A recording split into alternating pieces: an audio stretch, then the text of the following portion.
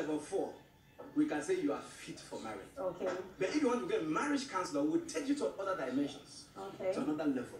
See, right now, we don't want to entrust our daughters or our sons to people who are not married, who are not educated.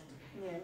So we want people to, eh, because why are we saying this? Because we want this love that we are talking about in Valentine's Day. Let the love grow, let the love last long. The dimension of divorces today is terrible. Yes. You know what I'm talking about. Yeah, I do. Right in church, pastors, pastors divorce and they boast. It's terrible now. So we need to start back from the foundation. Let's check the foundation. Jesus said, check the foundation. Haven't you read that it wasn't so from the beginning? Therefore, the foundation is not in internet. The foundation is not in YouTube. The foundation is going back to the Bible and going back to the book of Genesis 1 and 2. And that's why the remarriage is found. By that time, man was a father, man was a husband, and man was a homekeeper. But after Genesis 3, man became something else. Because by that time, man had fallen. Yeah.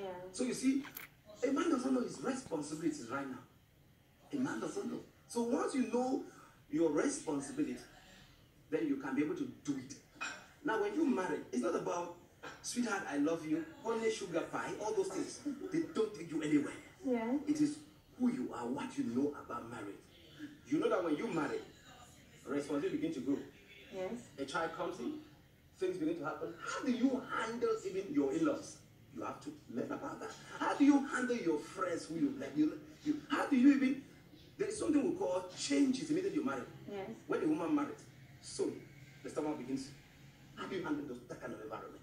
How do you know changes? How do you know what? That's why some people marry and they get depressed because they never knew what marriage is all about. Yeah. So people marry and they say, "Hey, married. If I knew that marriage was like this, I would not have." No, the simple thing that people don't know is that they didn't know about marriage. Yeah. It's possible to love one person